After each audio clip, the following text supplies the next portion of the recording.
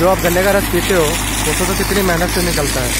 पहले वहाँ से तो गन्ना आ रहा है इसमें लग रहा है इसके अंदर। यहाँ से जूस इस पाइप के द्वारा यहाँ आ रहा है इसके अंदर।